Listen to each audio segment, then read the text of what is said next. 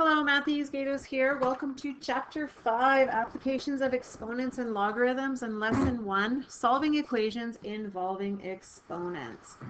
Okay, let's look at an example that you guys have in your books here. The volume of a beach ball is 50,965 centimeters cubed. Determine the radius of the ball. So they start to go through uh, the first couple steps. I just want to go through them with you. So first thing that we do is we state our formula. Volume of a sphere, 4 thirds pi r cubed. Okay, next thing that I do is I substitute in the volume, which is the 50,965. So I want to get r cubed by itself, and I'm going to look at two different ways once I've done that. So what I'm going to do is multiply both sides by 3 to get rid of my fraction. So multiply by 3, it's gone there. Multiply by 3 over here. And then what I want to do is divide both sides by 4 pi. Remember, pi is just a number. So divide both sides by 4 pi, it cancels there, and I get r cubed is equal to 3 times 50,965 divided by 4 pi. So at this point here, we have two different students, two different solutions. So Sarah completed the solution by taking the cube root of the equation. So what she said is, okay, the opposite of cubing a number is cube rooting a number. So I'll cube root this side, and to be fair, I also cube root that side. Okay, that's a totally acceptable way of doing it. So I plugged it into my calculator like that. I cube rooted it, and I got 22.999, whole bunch of nines. So I'm going to call it 23. And my units are centimeters. Okay. Now Lee, that's my middle name, by the way. I don't know if you guys knew that. My middle name is Lee, uh, and spelled L-E-E. -E. So Lee completed the solution by raising each side of the equation to a specific power. Oh, except Lee is a boy. That's okay. So what power did he use? So we want to get rid of r cubed. So since I'm cubing it, and I know the opposite of cubing is cube rooting, I can also raise to another power to get the cube root. And that power that I can raise to, the reciprocal power, is to the one-third. So I can raise that to the one-third power to get rid of my root. Okay, so cube rooting again, same as raising it to the one-third. So I'm going to raise it to the reciprocal power. So on this side here, I'll raise it to the one-third. Let's put that back. My technology is not working with me. Okay, let's try this again. Pull it over. There we go. And I'm going to, to be fair, raise the other side to the one-third as well. So I can enter that into my calculator as well to figure out what my answer is going to be. So putting that into my calculator, there we are. I get the exact same answer, which I would expect because cube root is the same as raising it to the one-third. So I also get a radius is equal to 23. So this strategy here is something that we can use. So the following procedure to solve an exponential equation where the exponent is a rational, rational just means fraction. So if I have x to the a over b equal to a number, all I really have to do is raise both sides to the reciprocal power of the exponent after the power is isolated and then simplify and solve for the variable. So we're going to try this in a bunch of different questions here.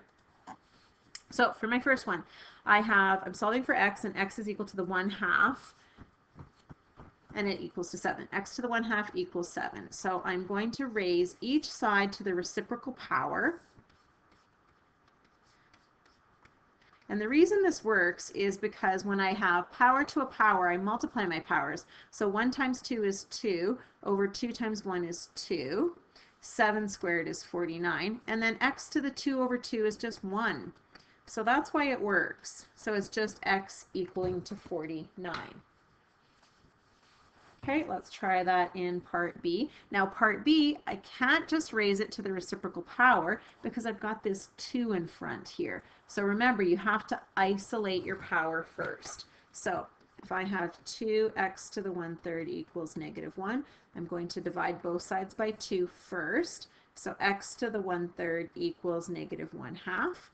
And now I'm going to raise it to the reciprocal power to both sides to be fair. So a third of 3 is just 1. So it's x to the 1 equals. And then I can put this into my calculator, making sure I use brackets for my base. So putting that into my calculator, brackets around my base before putting it in, bracket negative 1 half to the third equals negative 1 eighth. This is especially important if our exponent is an even number, because if you don't have brackets around it, it would not give you the correct answer. But let's just put brackets around every base. Okay, here, again, I have to isolate my power by dividing both sides by 5. So x equals negative 2 thirds equals 2, 9. Now we're going to raise that to the reciprocal power, and I get asked a lot, what do you do with the negative? So the reciprocal includes the negative because I want x to be to the positive 1 over here. So I'm going to raise this to the reciprocal power and raise this to the reciprocal power. That's important because when I multiply these exponents together, two negatives make a positive. So I get x to the 1 because 2 divide, sorry, 2 times 3 is 6, 3 times 2 is 6, so 6 over 6 is just 1. So x to the 1 equals 9 to the negative 3 halves. So I can just put 9 to the negative 3 halves in my calculator, change it into a little fraction, a little math frac, and I get my answer as 1 over 27. If you wanted to do that without using the calculator, it would be if you look at 9 to the negative 3 halves, if you want to do it without the calculator, a negative exponent becomes positive by taking the reciprocal of the base. Now it's. And 1 over 9 will be cubed, and then you're going to take the square root. That will also give you 1 over 27. Okay, to solve exponential equations, sometimes we need to write them with the same base. So that's what I want to practice now. So an exponential equation is any kind of an equation where the variable is an exponent. So 2 to the exponent of x, x is the variable. 3 to the exponent of x plus 2, x is in the exponent. Okay, so many exponential equations can be solved by writing each side of an equation using the same base. So here's an example. 36 to the exponent of 6 can be written as a base of 6. So notice I used color here just to differentiate. So the base of 36 could be rewritten as 6 squared. And then of course you would multiply your exponents together, so still a base of 6, but 2 times x would be 2x. So I want to practice writing it as the same base, and then you'll see where we're going with that when we solve the equations. So let's say I wanted to write it to the indicated base. So if I want to write 9 as a base of 3, when I really ask you to write it as a base of 3, I'm just asking you to use powers of 3. So 3 to some exponent. So if I want to change it to a base 3, I'm asking you which power of 3 is 9. And you can see right here that 3 squared is the same as 9. So since 9 is the same as 3 squared, 9 to the 2x will be the same as 3 squared to the 2x. And then of course we keep the base and we multiply the exponents together. So 9 to the 2x would be the same as 3 to the 4x. Let's try this one. 125 to a base of 5. So since I'm talking about a base of 5, I need powers of 5. So there's some powers of 5, and you can see that 125 is the same as 5 exponent 3. So 125 to the 2 minus x will be the same as 5 cubed to the 2 minus x. And then I just multiply through 3 times 2 and 3 times x. So it would be 6 minus 3x. 5 to the 6 minus 3x.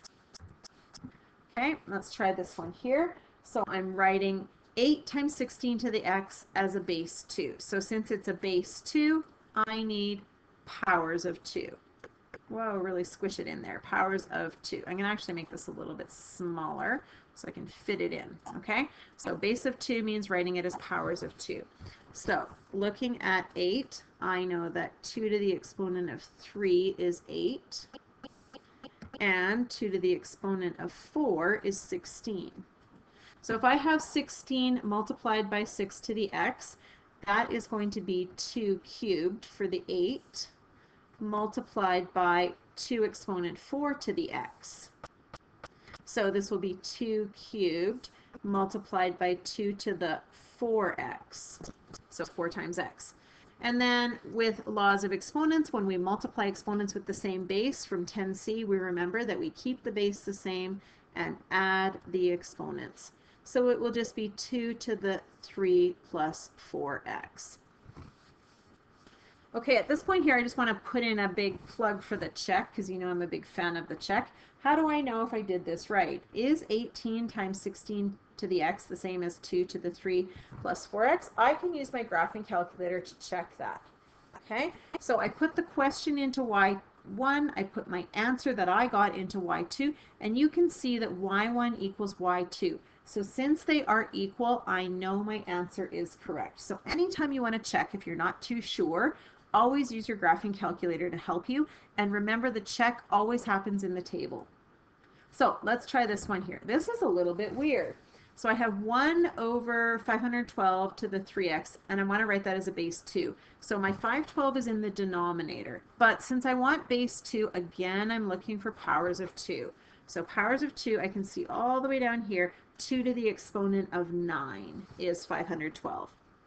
So since I have 1 over 512, I'm going to have 1 over 2 exponent 9, and that will be raised to the 3x. So I'm going to have 1 over 2 to the exponent of 9 times 3x is 27x. And then I can write that because I want it as a power of 2, and right now it's not a power of 2. So I'm going to use my negative exponent law. So to bring this up to be a base of 2, it's going to be a negative exponent. So I just want to review with you guys negative exponents. So if you have, for example, let me just go back to negative exponents. If you have x to the negative n, that's the same as taking the reciprocal of the base, and now the exponent is positive. The same thing is true going the other way around. If you have a fraction and you want to go back to a whole number base, you can do that by taking the exponent and making it negative. So it works both ways. And again, if you're ever unsure, you can always check that in your calculator. Okay, let's try this one here. 16 over 81 to the x plus 5 to the base of 2 over 3. So I want powers of 2 thirds. So powers of 2 thirds. So I put that into my calculator.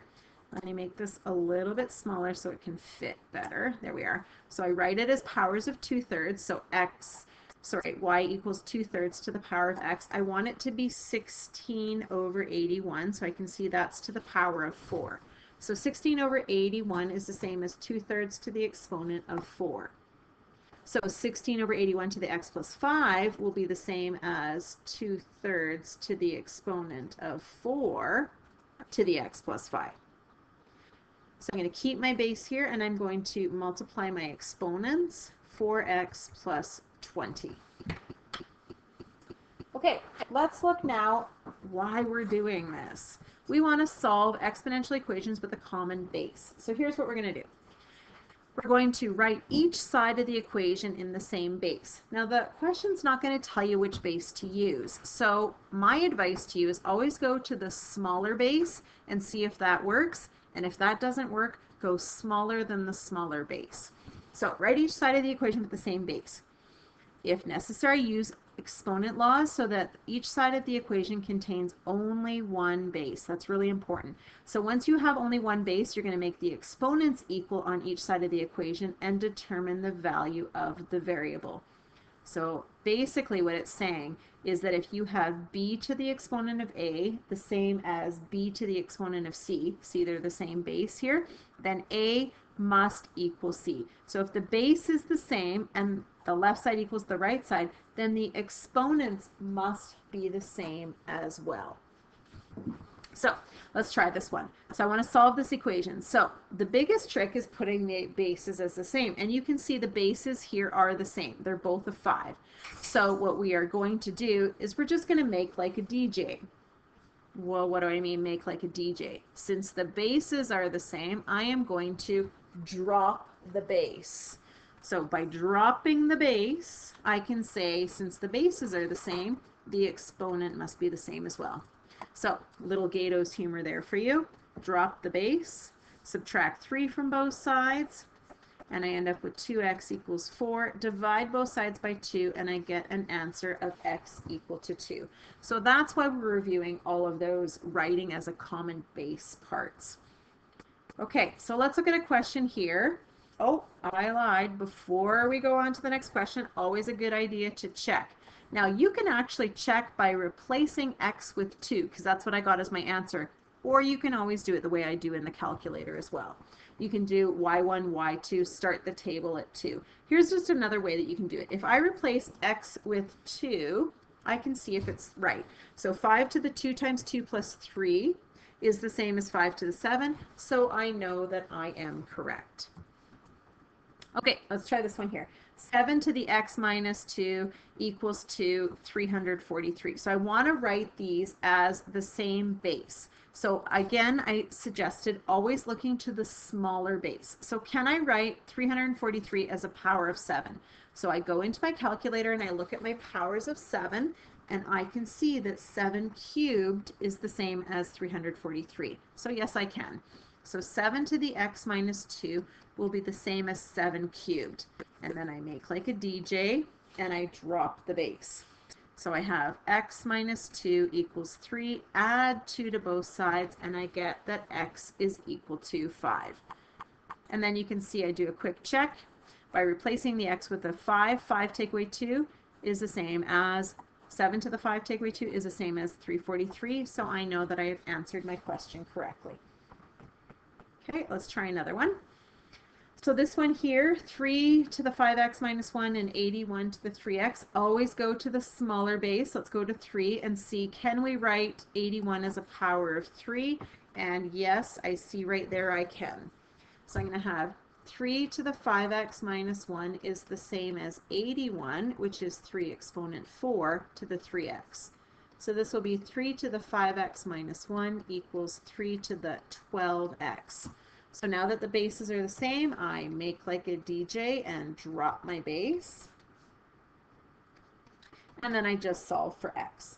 So I will, let's see, I'm going to subtract 5x from both sides.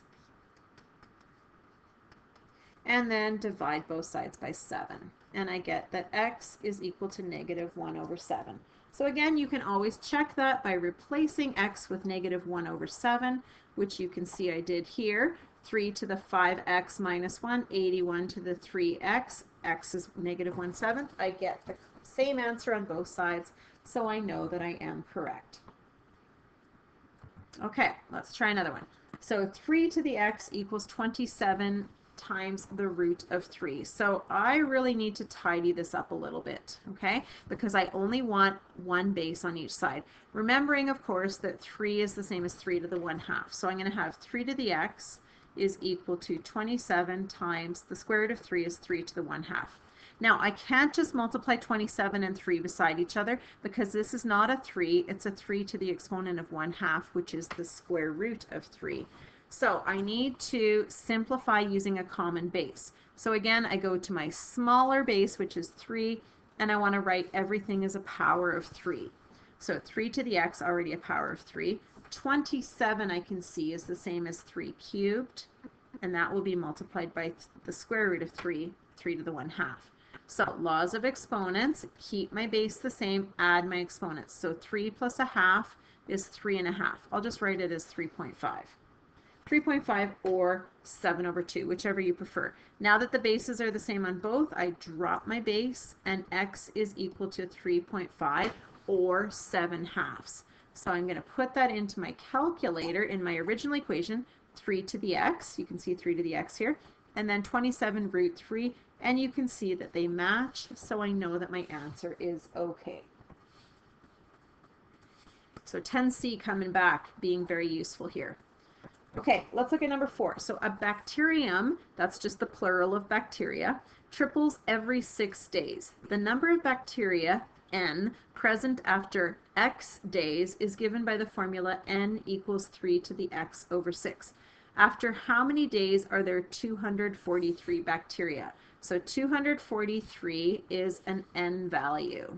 Okay, so that 243 is the same as the n value. So I can rewrite this as 243 equals 3 to the x over 6. Okay, so the bacteria is replaced with n because n was the number of bacteria. So to solve this, again, I want to write it as a common base. And I always go to my smaller exponent, which is 3, and I check to see, is 243 a power of 3? You can see there it is. So 3 to the exponent of 5 is the same as 3 to the x over 6. So I have power equal to a power, same base on both sides. I drop the base, and I get 5 equals x over 6. So since I've divided x by 6, I'll multiply x by 6 and be fair to do it to the same, same thing to the both sides.